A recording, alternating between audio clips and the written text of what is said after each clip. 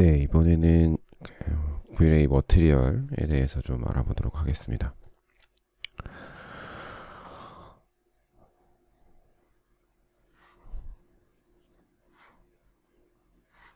네, 음, 네, SketchUp 예제 material next 어, 버전 한번 열어보시면 어, 열어서 render를 걸면 render가 이렇게 될 거예요. 뭐 렌더링에 특별한 세팅을 네, 한 건 아니고요. 음. 네, irradiance map 하고 그 네, environment 지금 뒤에 보면 백그라운드가 어, 조명해 보면은 돔라이트 적용됐고요. 약간 이 창문에다가 V-Ray 조명 썼어요. 네, V-Ray 조명 썼고 태양은 껐고요. 그죠? 네. portal light를 썼네요, 제가. 음. 네, portal light. 뭐 특별한 세팅은 아닌데 예, 뭐 이거 좀 특별해 보일 수도 있습니다. 근데 portal light는 이제 외부에 있는 조명이 실내로 잘 들어오게 해주는 조명이라고 생각하시면 돼요. 그냥 rectangle light에 요 그 accurate를 체크를 어, 했고요. portal light 외부에 있는 조명이 잘 들어오도록 지금 하는 상태입니다. 어, 그 이렇게 조명을 그 세팅을 해서 쓴 이유는 뭐 다른 건 아니고 예, 지금 이제 앞으로 재질에서 뭐 리플렉션이라던가 이런 게 들어갈 건데 네, 그런 것들을 좀 효과적으로 보이게 하려고 한 것 뿐이고요. 그냥 여러분 그 제가 이제 앞서 설명해 드렸던 기본 세팅들 쓰시면서 어 렌더 렌더 테, 렌더를 예, 그 세팅을 만들어 가시면 되고 이거는 네 그냥 네 재질 테스트 해보려고 그냥 만든 거라서 네, 어쨌든 현재 현재 상태는 이렇습니다. 이제 재질 할게요. 아 재질 그 기본적으로 재질 만드는 데부터 한번 시작을 해볼 건데 현재 그 제가 지금 재질 창을 보면 스케치업의 재질 창이랑 브이레이의 요 브이레이 어셋에서 볼 수 있는 네, 여기 재질 창이 두 개가 있어요. 근데 여기에 있는 재질이랑 보시면 여기도 움직이죠. 클릭을 해보면 네, 이렇게 선택이 돼요. 선택이 되고 여기서 클릭을 해도 또 선택이 됩니다. 그죠? 네, 그래서 둘이 서로 연동이 돼요. 연동이 되고 연결되어 있고, 음, 네. 그래서, 어, 재질을 만드는 것도, 어, 이쪽에서 새로 만들 수도 있고, 또 여기서도 새로 만들 수도 있어요. 그래서, 여기 보면 플러스 버튼이 하나 보이실 거예요. 그래서 이걸 클릭을 하고, 자, render element, 뭐, geometry, light 뭐 있는데, 맨 밑에 material 해서, 우리는 다른 material보다는 그냥 generic을 선택을 할 겁니다. 다른 material들은 그 저희가 음, 배울 내용은 아니고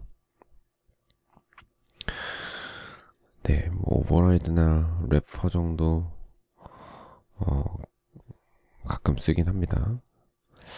car paint 뭐 이런 것도 알아두시면 좋긴 할 것 같고 two side는 뭐 양쪽 면 뭐 재질이고 emissive 좀 쓸 거고. 네. 뭐 그런 재질들인데 이제 generic을 쓰면 일단 generic을 쓰면 generic을 써도 여기서 했던 다른 것들을 표현할 수는 있어요.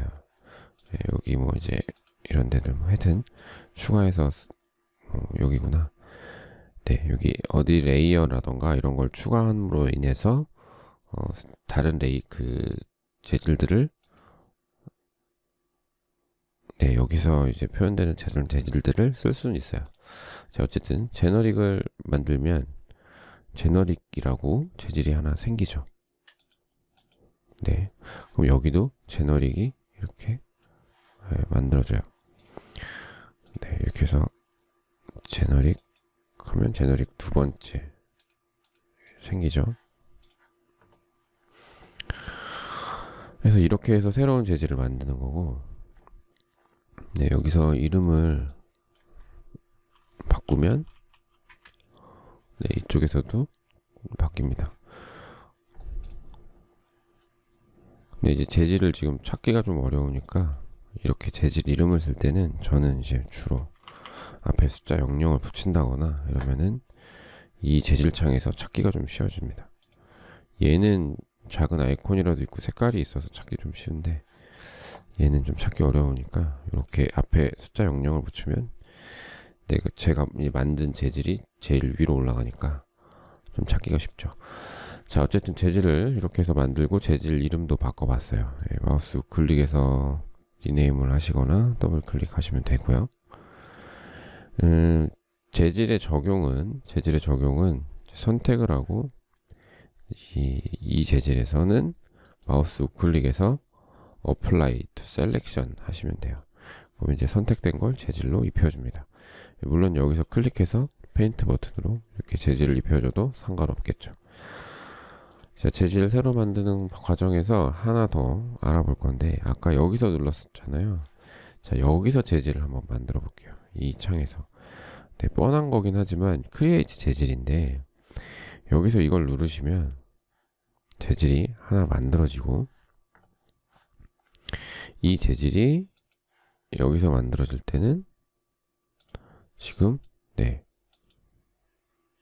여기 material이라고 또 재질이 만들어지죠. 어, 자 여기서 M1이라고 되어 있는 재질 눌러보고 또 create 만들어 볼게요. 네, 이번엔 핑크색 나오죠? 오케이. 자, 마젠타 재질이 나왔는데 M2 material 2 지금 보면 근데 M1이 선택돼 있죠? 어, 자, 원래 연동이 된다 그랬는데 여기서 create에서 만든 material 2번 material 2번이 만들어지면서 선택이 되긴 하는데 여기서 연동이 그때 잠깐 안 됐어요. 뭐 그런 차이가 있습니다. 근데 뭐 중요한 거는 아니지만 예, 연동이 다 된다고 했는데 네, 여기서 보시면 M2를 했을 때 create 버튼 눌러서 material 3번 그다음에 OK 눌렀을 때 material 3번이 선택돼 있지만 여기는 M1이 선택돼 있다는 거 그래서 여기서 컬러를 이렇게 해서 바꾸면 네, 다른 게 바뀌죠 그래서 이런 차이가 있습니다. 예, 이런 차이가 음, 있는데 한 가지 더 볼 거는 여기서 M1이나 M2 뭐 얘네들은 지금 reflection이 들어가 있는 애들이에요. 반사. 근데 그 M3, M2, M1, 아, material 1, material 2, material 3은 보시면 알겠지만 reflection이 안 들어가 있어요. 그러니까 이제 어, 새로운 재질을 만들 때 새로운 재질을 만들 때 이 창에서 만들면 어, 아까 만든 M1, M2, M3 이런 재질들이 새로 만들어질 때 차이가 있, 뭐가 있냐면 여기서는 그 이 얘가 가진 reflection은 복사가 안 돼요. 그쵸? 근데 여기 M1에서 여기서 예, 이 material에 generic 뭐 만든다고 해서 뭐 이거 똑같이 만들어지진 않죠. 근데 예를 들어서 마우스 클릭해서 duplicate를 하면 복제가 돼요. 그쵸? 네. 지금 네. 듀플리케이트 네, 듀플리케이트를 하면 지금 뭐가 복제됐지? 네. 네, M2, M3. 네, 여기 복제가 됐죠? 자, 이 복제된 애들은 당연히 똑같이 이 세팅 값을 그대로 복사해서 나오겠죠. 근데 여기서는 여기서는 좀 헷갈리실 텐데 이번에 M2로 해볼게요. M2를 했을 때 create를 눌렀을 때는 이 컬러 정보만 그대로 오지 나머지 네 M4죠 지금 네 야, material 4. 이 material 4에 보시면 reflection 값이나 이런 것들은 네, 따라오지 않았어요. 음, 자, 이 말은 이 재질에 이 재질에 어, 이 복제 시스템이 그 SketchUp SketchUp은 내가 선택하고 있는 거를 클릭해서 create를 누르면 이 선택된 material을 복사해서 나와요. 근데 복사되었던 material이 복사되었던 material 네 얘가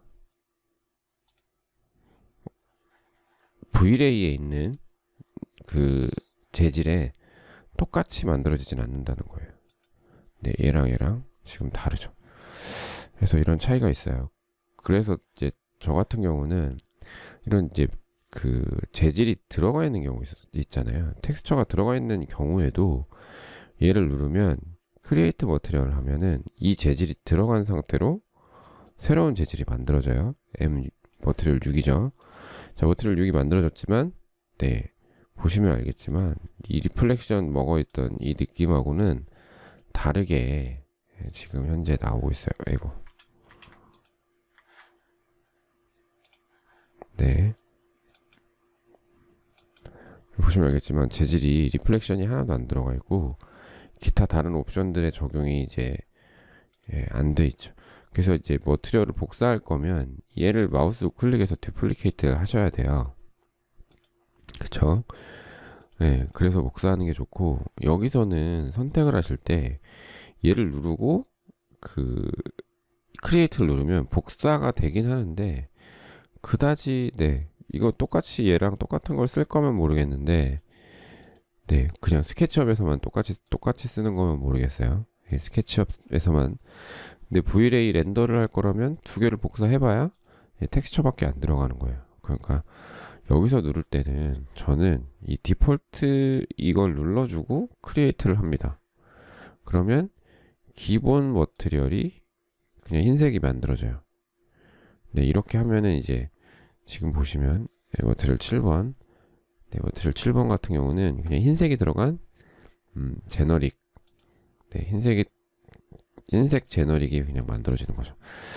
그래서 재질 복사를 이렇게 쓸 때도 만들 때도 조금 차이가 있어요. 그래서 좀 길게 설명을 하긴 했는데 네 별거 아니지만 이걸 좀 알아두시면 좋습니다. 재질을 자꾸 네, 쓸데없이 재질을 이걸 이런 걸 선택하고 있으면 만들어질 때마다 막 다른 게 만들어져요. 그리고 텍스처를 또 막 꺼야 되고 계속 네, 이런 번거로움들이 있기 때문에 될 수 있으면 재질 만들 때 예, 여기 있는 디폴트 버튼을 누르고 create 하시거나 아니면 여기서 제너릭으로 해주시면 새로운 머트리얼이 만들어집니다. 자 여기서 이제 재질이 이제 사용되지 않는 재질이 이제 많이 늘었죠. 이럴 때는 지우는 방법은 어, 여기 보시면 디테일 메뉴에 퍼지 언유지들을 누르시면 사용되지 않는 머트리얼들을 예, 다 지워줍니다. 현재 재질창에 사용되지 않았던 material들은 다 지워져요. 그죠? 얘도 깨끗이 지워졌네요. 여기 보시면 여기도 purge unused가 있어요. 그죠? 사용되지 않는 material들은 지워준다. 자, 그런데 어, 여기 보시면 세모 버튼 있잖아요. 예, 요거 보시면 이게 사용되고 있는 material. 네, 이거는 현재 창에서 사용되고 있다. 근데 핑크색, 노란색, 파란색은 없었는데, 그죠? 그거는 이제 layer에 감춰져 있거나, 네, 예, 별도의 이렇게 layer에 감춰져 있거나, 아니면 component에 사용되고 있다는 뜻입니다. component에 있는 object 중에 하나가 얘를 사용하고 있을 때는 저렇게 예, 재질이 사용되고 있다고 표시되고 지워지지 않습니다. 그래서 만약에 내가 component에 있는 것들이 현재 그 화면에 쓰이지 않고 있다. 여기 있는 component가 어, 이 layer나던가 이런 데 들어가 있지도 않고 그냥 어, 있다. 그러면 그냥 여기 component에만 있다. 그러면 이 용량 차지를 하거든요. 이게 세이브를 할 때 여기 있는 component도 같이 저장돼요. 현재 여기 지금 보시면 In Model에 있는 다른 component들이 어 그냥 그 사용되지 않음에도 불구하고 용량을 차지하게 되거든요. 그래서 component에서 일단 지워 주시고 component에서 사용되지 않는 이런 것들은 어, 예를 들어서 제가 만약에 네 이거 이렇게 이, 이거 있죠 이걸 쓰면 네, 인 모델에 보면 얘가 사용되고 있다고 보이죠 얘는 이제 네 있어요 근데 여기 재질에 가보면 네, 얘가 지금 소, 가지고 있는 재질들이 되게 다양하잖아요. 색깔들이. 그래서 여기 재질이 이렇게 늘었어요. 그래서 여기서 퍼지 언유즈들을 눌러도 네, 표시도 안 되고 네, 지금 이제 네, 사용되지 않는 머트리얼이 없다는 거죠. 그래서 여기서 이거 지워도 안 된다는 거예요. 그래서 여기를 지워도 얘를 델리트로 지워도 역시 또 퍼지 언유즈도 안 되죠. 그래서 얘를 지울 때는 여기서 보면 얘 여기서 purge unused를 먼저 해줘요. component에서. 그럼 없어졌죠. 그럼 어떻게 돼요? 재질창에 사용되지 않는 것들이 이제 생겼죠. 그래서 여기 가서 또 purge unused 해주면 재질이 깨끗하게 정리가 됩니다. 네, 이렇게 여기서 purge unused 그래서 재질을 정리하는 방법까지 해서 같이 좀 알아봤고요.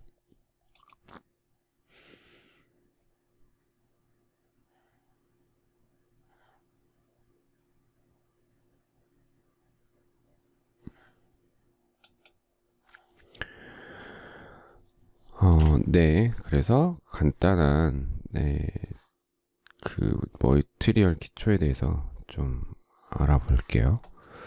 자, 우선 보시면 네, 새로운 재질을 다시 만들어야겠네요. 네, generic으로 만들겠습니다. 자, 이 제너릭에 보면 diffuse가 있어요. diffuse. 음, diffuse는 그 음, material 창을 좀 가까이 놓고 볼게요. 자, 여기 보면 diffuse 컬러 여기 있는 컬러예요. 그쵸? 그래서 RGB로 바꿔놓고 얘를 클릭했을 때 보면 네, 여기 RGB 여기 색깔 요 숫자 있잖아요. 요 숫자 그 다음에 여기 얘 어,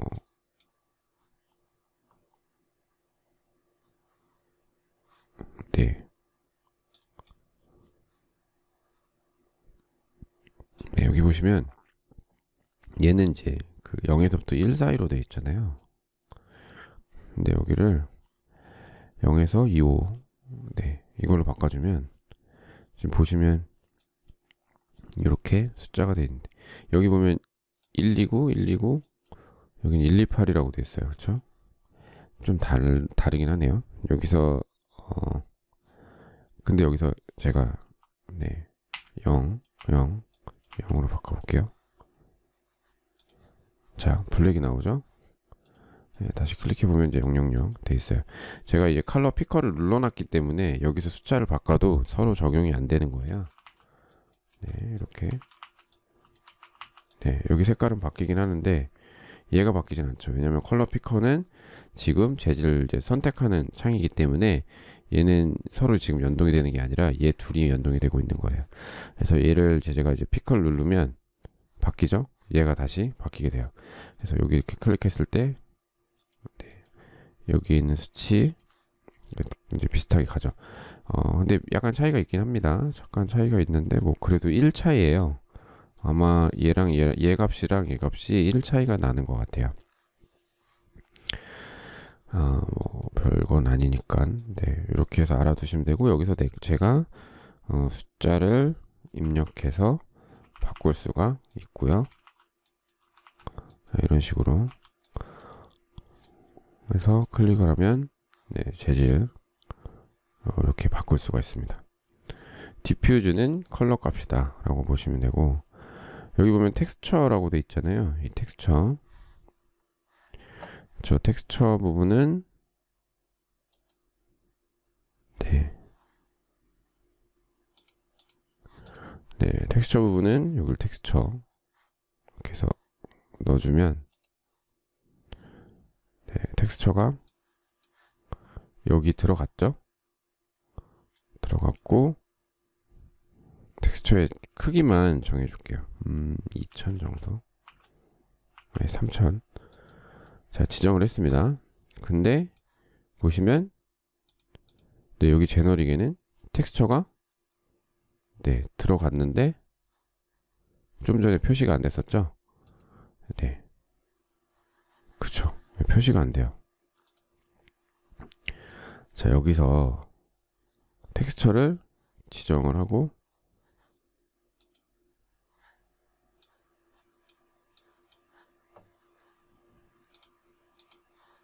여기 봐도 현재 들어가 있지 않습니다. 네, 여긴 들어가는데 네. 그래서 제가 그 바로 연동이 되지 않았죠, 지금? 그래서 제가 체크를 껐다가 다시 켰는데 다시 나오네요. 예, 가끔 이런 오류들은 있습니다. 뭐 버그 일종의 예. 자 어쨌든 여기서 다시 나오게 할 때는 제가 요 체크를 좀 했었죠. 얘로 안 되는 경우도 있을 거고 그러면은 이제 뭐 이렇게 눌러서 다른 재질을 여기서 별도로 뭐 이렇게 해보고 네 한번 몇 번 시도를 해보시면 적용이 될 거예요. 어, 보시면 알겠지만 여기 있는 텍스처가 이렇게 바뀌고 제가 이걸 바꿨어요. 그쵸? 네, 그러면 이제 여기도 바로 적용이 됩니다. 자, 이게 연동이 잘 안 된다면 버전이 이제 낮거나 그런 겁니다. 오류예요. 근데 오류가 오류가 낮거나 해서 여기가 안 보이면 네, 여기서 예, 여기가 아니라 여기서 바꾼 재질이 렌더가 되는 거예요. 만약에 재질을 제가 어, 여기서 얘를 썼다. 근데 여기는 안 바뀌어. 안 바뀌더라도 여기서 세팅한 것으로 render가 된다는 거 이해해 주시, 예, 알고 계시면 좋을 것 같고. 네, 어쨌든 됐습니다. 연동되고, 그 다음에 opacity 값이죠. 자, opacity 값. 자, 여기서 opacity 값을 낮추면 투명해져요. 네, 얘는 어떤가요? 얘는 투명해지지 않죠. 여기서 opacity 값을 낮출게요. 낮춰졌죠? 다시 opacity 값을 높이겠습니다. 여기 opacity 값하고 두 개는 서로 네 연동이 안 돼요. opacity는 그래서 이제 유리 재질 같은 경우 간혹 네, 유리 재질 같은 경우를 제가 하나 만들어 보겠습니다. 네, 이렇게 만들었고 지금 걔가 머트리얼이 여기에 만들어졌죠? 근데 여기서 제가 오퍼시티를 줬어요. 투명해졌어요. 그쵸? 투명해졌는데 음, 저희 투명한 재질 여기다 입혀보면 투명하죠? 근데 렌더를 해보면 네, 투명하지 않아요. 자, 이 말은 역시 오퍼시티는 네, 연동이 되지 않는다. 그쵸. 이렇게 얘를 네, 오퍼시티. 그쵸. 여기선 투명하게 보이는데? 네, 이렇게. 그래서 이제 유, 여러분이 유리 재질을 만든 다음에 혹시나 opacity를 사용하셨다면 네, 그 재질들은 뭐 render했을 때 예, 빛이 투과가 되지 않거나 아예 투명하지 않은 형태로 표현될 수 있으니 이 부분을 좀 잘 이해를 해주시고 opacity로 유리를 만드는 게 아니죠. 예, 이따 나중에 배우겠지만 opacity 값으로 유리를 만드는 게 아닙니다. 이걸로 이건 이제 스케치업 상태에서만 opacity로 만드는 거고 실제 유리는 여기 보면 refract라는 refraction이라는 값으로 만듭니다. 그래서 우리는 이 opacity 값은 일단은 네 100으로 놓고 자 여기서는 네, 이렇게 해놓을게요. 100%로. 자, 이렇게 해서 이 기본적인 이 Vray, 이, 이 스케치업의 머트리얼의 값과 Vray 값을 비교해 봤습니다. 자, 이거 외에 나머지들, 그러니까 이 텍스처하고 컬러 외에 나머지들은 연동이 안 되고, 당연히 이제 이 옵션들이 훨씬 더 많기 때문에 여기에 있는 거에 표현이 안 됩니다. 네, 그런 부분들을 좀 이해를 해주시면 좋을 것 같고요. 자, 기본적인 거 다시 또 볼게요. 제너릭으로 가서 네. generic으로 가서 보면 네, 여기서 텍스처 없애는 방법은 얘를 체크를 해주거나 네, 여기서 네, 이걸 사용하지 않는 거면 되겠죠. 자, 컬러를 이렇게 이제 바꾸고 여기 보면 reflection이라는 값과 reflection. 음, reflection은 반사예요. 그래서 여기 reflection 컬러 검정색을 이렇게 해주면 광택이 납니다. 그쵸? 광택이 나고 reflection의 glossiness 값 1이라고 되어 있는데 이거를 0에 가까운 값으로 이제 바꾸면 0으로 바뀌면 이제 약간 이렇게 돼요. 약간 뭐 벨벳의 느낌이라고 해야 되나? 이렇게 되는데 대부분 0 쓰는 일은 거의 없고 음, 저 같은 경우 0.7 정도 씁니다. 0.7 약간 이제 어, rubber 아니면 플라스틱 종류에서도 표면이 약간 이제 어떤 표면이 이제 매끄럽지 않으면 이런 형태로 표현이 되겠죠. 그래서 이건 매끄러운 정도를 표현하신다고 생각하시면 돼요. 1로 놓으면 예, 가장 매끄러운 거의 이제 이 유리나 플라스틱이 아주 그 반짝거리는 플라스틱이 되는 거고 그 이하로 0.8 네, 이런 식으로 낮추면 네, 이렇게 표현이 돼요. 0. 거의 5 이상으로 내리진 않아요. 저 같은 경우는 보시면 광택이 살짝 살아있죠. 어, 이 reflection 값은 거의 모든 재질에 사용을 할 수 있어요. 할 수 있는데 그 저는 이 reflection 값을 조절할 때 이런 게 있어요. 그러니까 이 벽면이지만 벽면에도 이 reflection 값을 적용해주면 약간 반사를 하면서 이런 재질들을 서로 반사를 해요. 그러면서 약간 색깔이 풍성해지는 render가 나와요. 물론 이제 그 모든 재질들은 조금씩 반사가 있습니다. 모든 재질은. 그래서 이런 값을 표현하긴 해요. 네, 그래서 그런데 이제 이걸 사용하면 당연히 render가 좀 느려지겠죠. 그러니까 이제 좀 적절하게 사용을 하시는데 하여튼 요 reflection 값은 저는 거의 약한 상태로 예, 이렇게 또는 이 컬러 값을 좀 낮춰서 살짝 이렇게 낮춰서라도 reflection을 많이 적용해 주는 편입니다. 모든 재질들에 뭐 벽지도 약간의 광택이 있을 수 있고요. 요즘 벽지들은 어 약간 표면에 뭐 이렇게 다양한 재질들을 넣다 보면 광택이 있을 수 있고 그 돌도 돌도 사람들이 많이 밟거나 막 이러면 거기 reflection이 있잖아요. 그러다 보니까 약 reflection이 없는 재질이 거의 없어요, 사실. 종이도 마찬가지예요. 종이도 코팅이 되어 있는 종이들도 많고요. 어, 대부분의 플라스틱은 당연히 reflection 다 들어가고 우리가 접하는 대부분의 재질들이 이 reflection 값이 있습니다. 특히 인공물, 인공물은 거의 다 있어요. 그래서 reflection의 이 이 수치 거의 0.5 예, 거기서부터는 한 번 정도 이렇게 재질을 해주면 특히 바닥이라던가 가까이 있는 벽 같은 경우의 표현들 멀리 있어도 마찬가지인 게 요 빛이 들어왔을 때 여기 광택이 맺히려면 이런 식으로 반사를 주는 게 좋아요. 반사를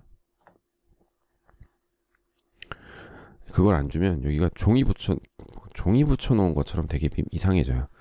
반사가 안 되니까. 그래서 그런 분들을 좀 잘 생각해 주시고 해주시면 좋을 것 같습니다. 자, 그리고 반사에서 여기 0.5라고 되어 있는데 이제 다시 1로 바꿀게요. 여기 Fresnel이라는 옵션을 우리가 컷, 껐다 켰다 할 텐데 이 Fresnel이라는 건 어, 이게 저도 뭐 정확하게 모르겠지만 이게 이제 체크 해제가 되면 완전히 거울이 돼요. 자, 여기는 지금 red지만 red지만 반사가 되기 때문에 완전 반사를 해요. 자, 자기 스스로 완전 반사라면 당연히 크롬 느낌이 나겠죠. 색깔, 자기 색깔이 없으니까. 렌더에 보면, 네, 반사를 하는 거울이 됐어요. 그래서 거울을 만들고 싶으면, 네, 거울을 만들고 싶으면, 이 프레스넬이라는 얘를 체크 해제하시면 됩니다. 근데 이 프레스넬을 켜고, 네, 아니, 체크를 하고, 체크를 하고, 원래 체크가 되어 있는 상태죠. reflection IOR 수치라는 것을 보면 체크를 해보면 1.6이라고 되어 있는데 여기를 제가 3이라고 이렇게 높여 놓으면 반사가 더 약간 크롬에 가깝게 반사가 돼요. 그래서 render를 해도 기본적으로 반사가 더 잘 돼요. 잘 됐는데 이 반사는 그 표면의 매끄러움으로 반사되는 거 이상의 그 반사 그를 가지고 있어서 표면의 매끄러움으로 반사가 되면 이제 플라스틱 같은 경우 또는 어떤 물체를 아주 그 매끄럽게 표면을 다져 놓으면 이렇게 문질러 놓다고 하면 되나요? 예, 사포로 한 다음에 아주 그냥 광택까지 주면 그 반사의 느낌은 1.6이 되는 거고 6이 되는 거고 이거보다 더 반사를 주려면 이제 이렇게 3 또는 여기서 뭐 6 이렇게 해버리면 약간 크롬 느낌이 나죠. 그러니까 뭐펄 재질 같은 경우 여기서 이제 얘를 어, 여기서 얘를 0.8뭐 이렇게 해주면 이렇게 표현이 되는 거예요. 크롬 느낌 나면서 약간 펄 재질 요즘에 많이 쓰지 않는 재질이죠. 근데 알루미늄 같은 음, 컬러 이제 알루미늄 이런 느낌 나죠.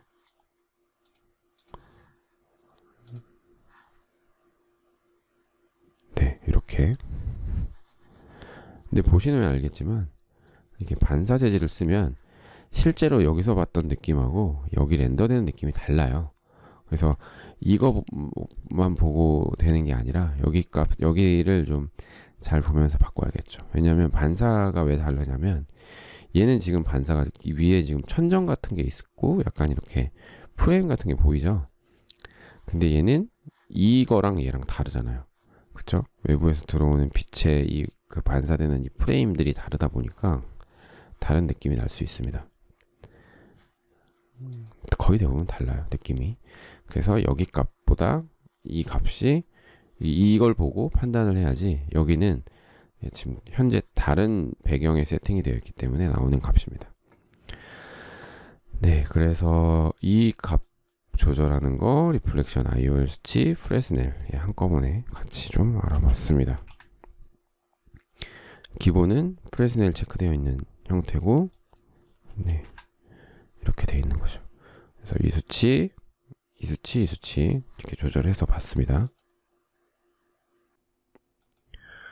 네, 그 다음에는 이제 투명 재질인데 음, 투명한 재질을 보려면 씬 2번을 클릭을 해볼게요. 자, 투명은 이제 렌더 속도로 봤을 때 투명 재질이 들어가면 조금 오래 걸려요. 아무래도 이제 반사들을, 어, 굴절들을 다 계산을 해야 되기 때문에 조금 시간이 걸리긴 합니다만 한번 세팅 해 볼게요. 어, 일단 그래스 00이라고 돼 있고 네, 아까 말씀드렸듯이 오퍼시티하고는 전혀 관계 없어요. 그래서 렌더를 해보면 얘가 지금 흰색이잖아요. 불투명하고 네, 흰색이 불투명한데 지금 이렇게 렌더가 됐어요. 네, 현재 얘는 오퍼스티 네, 여기 볼게요. 스포이드로 찍어 볼게요. 자, 얘는 지금 디폴트라고 돼 있죠? 그래서 여기다가 글래스 0번을 이렇게 입혀주면 이렇게 투명해집니다. 네, 제가 조금 이거 원래 입혀졌다고 생각했는데 재질을 입혔습니다. 그리고 어, 렌더를 해볼게요. 네, 투명한 재질이 지금 만들어졌죠. 아, 자, 이제 어떻게 만들어졌는지 볼게요. 표현을 한번 볼게요. 우선 지금 얘가 제가 여기서 아까도 말했지만 오퍼시티를 예, 이걸 100으로 해놔도 100이 됐어요. 100으로 해놔도 렌더 했을 때는 네, 아무 상관없죠. 네. 네, 이건 확인을 했고 다시 네, 5 정도 놓겠습니다. 보기 편하게. 자, 글래스 00이라고 되어 있는 재질을 한번 볼게요. 이 00. 어떻게 표현되어 있냐면 우선 우리가 새로 만들어 봐야겠죠. 여기서. 어, 아. 네, 볼게요. 여기 보면 리플렉션은 일단 100%로 줬어요. 그죠? 왜냐면 유리도 반사가 되니까 표면이 매끄럽잖아요. 그리고 어 리플렉션. 자, 리플렉션이 다른 제너릭에 비해서 블랙이 블랙이 화이트로 돼 있어요. 그쵸? 여기 보시면 black이 white로 돼 있어요. 자, 이래서 이제 이게 유리 재질이 되는 거예요. 그러면 하나 새로운 재질을 만들어 볼게요. 플러스 버튼 눌러서 generic을 눌러주고 generic 자 얘를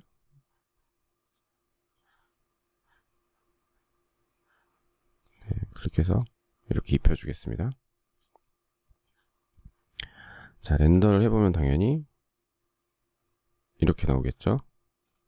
근데 여기 보면 refraction refraction 컬러 이거를 white로 만들면 100% 100% 근데 지금 보면 얘를 white로 만들 때 어떻게 됐나요? 얘가 투명해졌죠? 자동으로 네 이제 유리가 나오네요 그쵸? 근데 뭐가 없어요? 투명해졌는데 반사가 없죠 얘에 비해서 얘는 반사가 이루어졌는데 얘는 반사가 없어요 그래서 얘는 음, reflection 값도 이렇게 높여주시면 반사가 돼요. 그래서 render를 보면 네 이렇게 반사까지 됩니다. 자 그런데 조금 전에 여기서 refraction 컬러를 조절을 했더니 자 보세요 불투명하게 만들었더니 여기 opacity 값이 바뀌죠 네, 여기서 100%로 만들었더니 10으로 이건 이제 자동화 된 거예요 그러니까 어, 편의를 위해서 사용자의 편의를 위해서 V-Ray에서 세팅을 해준 게 여기 값을 조절을 했을 때 예, 여기 있는 opacity가 조절이 되면서 투명하게 보여지는 거죠. 그러니까 여기 있는 opacity를 조절한다고 얘 opacity가 변하지 않아요.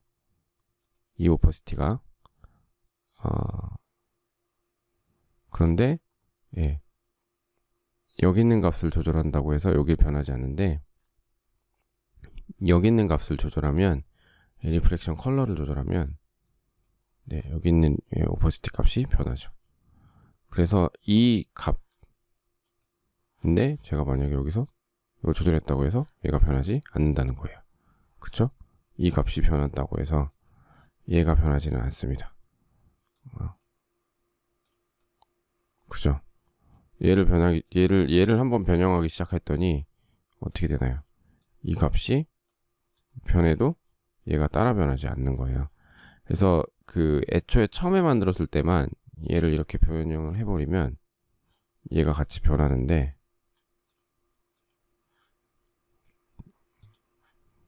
네 얘를 이렇게 이렇게 했다가 다시 해볼게요. 다시 해도 얘가 변하지 않죠.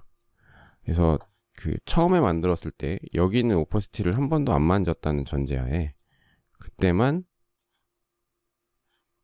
된다는 거. opacity 100으로 만든 다음에 이렇게 놓고 네, 다시 해도 안 변하죠. 그래서 연동이 되긴 하지만 첫 번째 처음에만 연동이 된다. 음, 다시 보면은 create 만들어서 네, default create 만들어서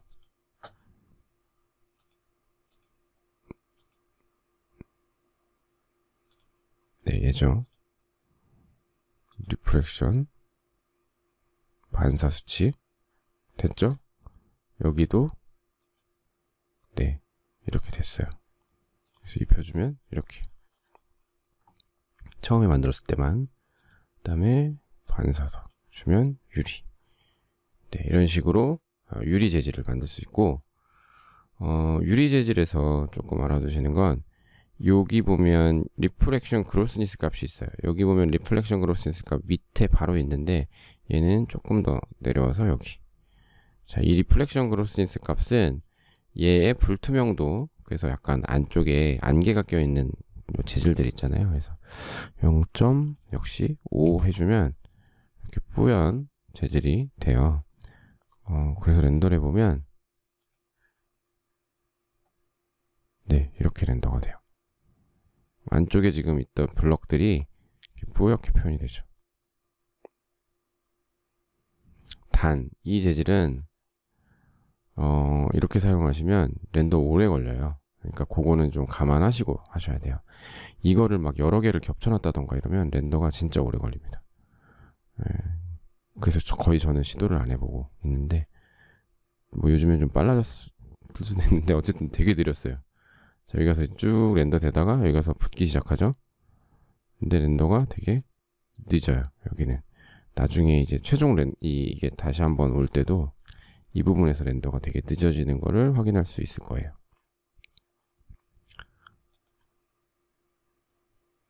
네.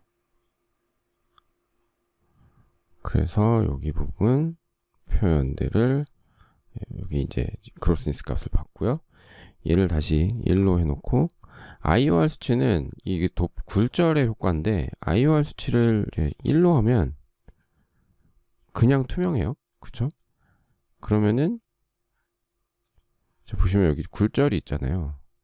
안에 이게 반사가 아니고 안쪽에 굴절이 있잖아요. 돋보기 같은 효과.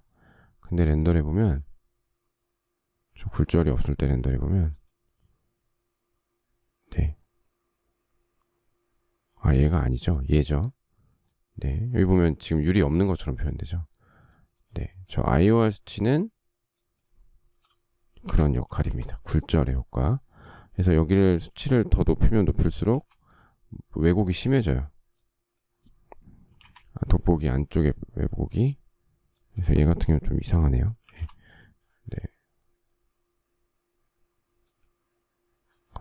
네, 요거를 지금은 glossy, 네.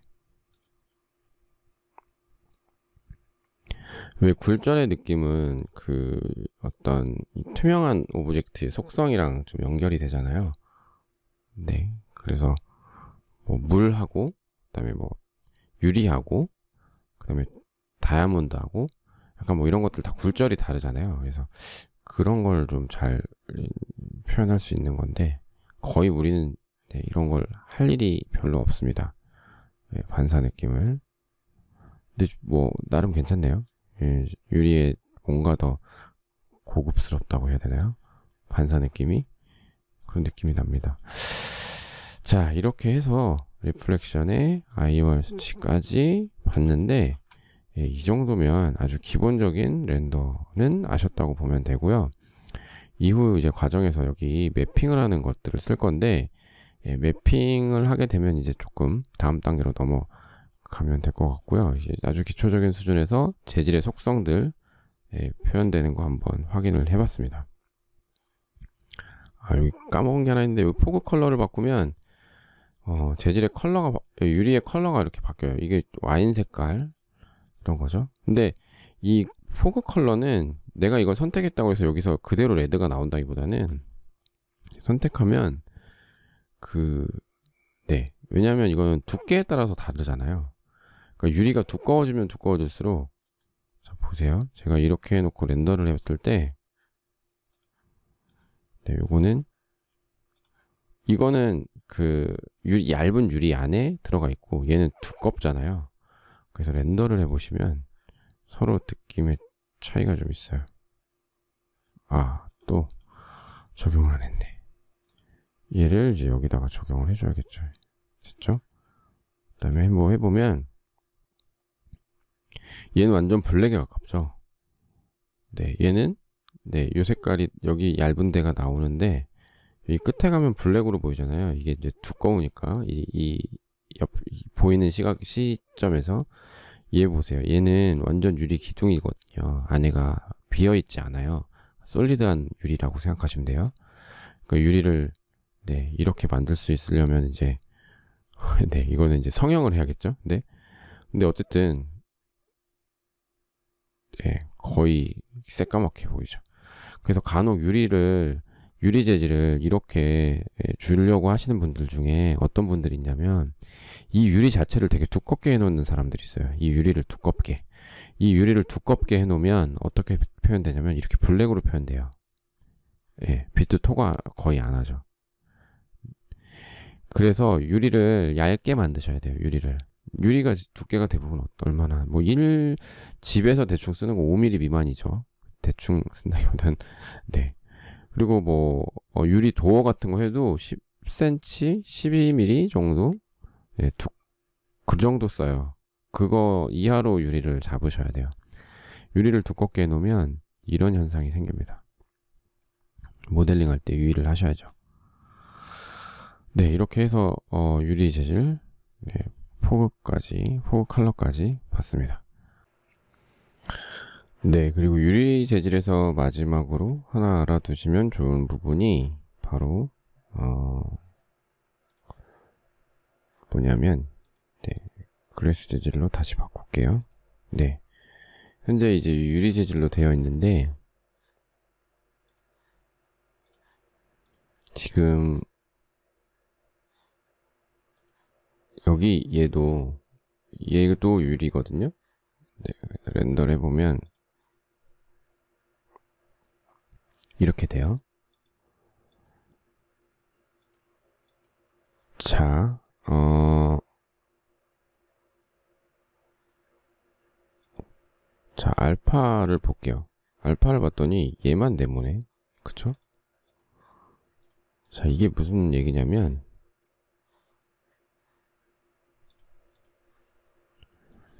한번 볼게요. 아, 얘가 유리 재질이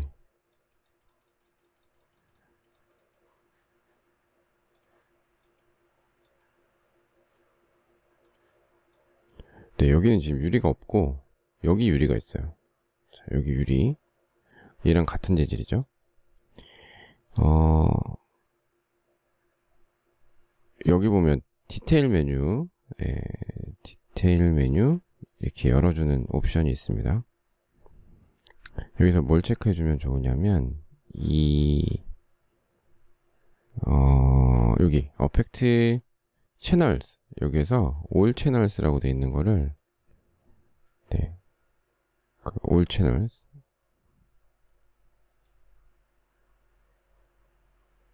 네. 칼라 플러스 알파 네, 얘로 체크해 주는 거예요. 그리고 렌더를 해보시면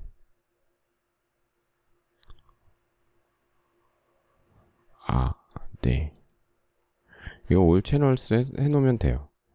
네, 이거 다시 멈추고 죄송합니다. 이거 예, 올 채널 해주시면 돼요. 이 올 채널로 되어 있으면 됩니다. 원래 기본적으로 저게 올 채널이 체크가 안 되어 있었거든요. 제가 이제 채널링을 한 다음에 예, 리플렉션하고 디테일 메뉴를 보면은 네, 칼라 온리라고 되어 있어요. 이걸 이제 이렇게 해줘도 유리 만들어주고 네, reflection 해줘도 이 상태로 하면 여기가 투명해지지 않아요. 자, 얘네를 한번 해볼게요. 얘를 얘로 바꿔보겠습니다. 두 개를 render를 해보면 자, 이 얘기가 뭐냐면 나중에 배경을 합성을 하실 수도 있잖아요. 배경, 유리 배경을 합성을 할 수도 있는데 지금처럼 유리를 만들어 주고 나면 그 얘는 지금 유리가 없는 부분이라서 알파가 이렇게 보여 있어요. 그래서 여기 뒤에다가 배경을 합성할 때 이걸 이제 저장을 PNG로 하시면 저장을 PNG로 하면 이 부분이 투명하게 예, 돼 있어서 포토샵에서 여기서 뒤에서 이제 하늘이나 이런 것들을 넣을 수가 있죠. 그런데 유리 같은 부분은 지금 보시면 네 이렇게 돼 있어서 하얀색은 object가 있다는 뜻이고 이 PNG로 저장했을 때 이 부분은 불투명하다는 뜻이거든요. 근데 현재는 지금 다 불투명하게 돼 있잖아요. 근데 이제 render가 다 되고 나면 render가 다 되고 나면 이 부분이 이제 투명하게 보일 거예요. 왜냐하면 여기서 이올 그 채널로 해놨기 때문에 자, 지금 보면 클래스 00은 올 채널이 돼 있어요. 그래서 우리가 얘는 클래스 00으로 해놨잖아요. 그래서 투명해질 거예요.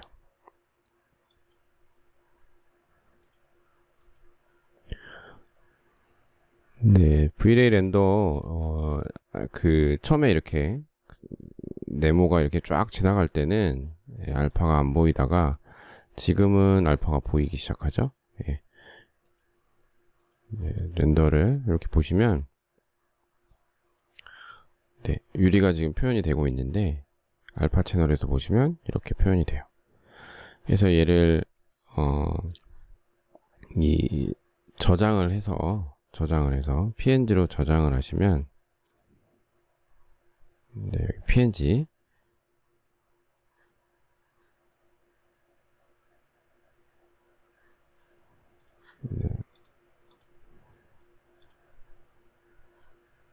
png로 저장을 하시면 포토샵에서 이 부분이 이제 투명하게 예, 만들어진다는 거죠.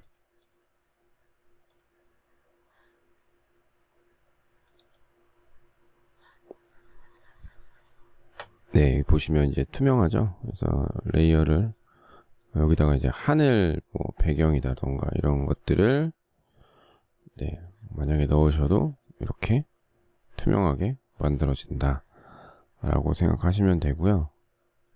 근데 여기는 이런 반사나 이런 반사나 이런 부분들은 당연히 render에 포함되어야 하는 부분이라서 이렇게 해보시면 그 좀 이질적인 부분이 있습니다. 네, 어쩔 수 없어요. 이런 부분들은. 아예 배경을 그 넣어놓고 렌더를 하시거나 그러시지 않는 이상 배경을 PNG로 바꾸는 게 한계는 있습니다. 음, 네, 이렇게 해서 재질 기본에 대해서는 좀 한번 네, 알아봤고요. 어, 다음 시간에는 요 매핑을 활용하는 방법들에 대해서 알아보도록 하겠습니다. 네, 여기서 마치겠습니다.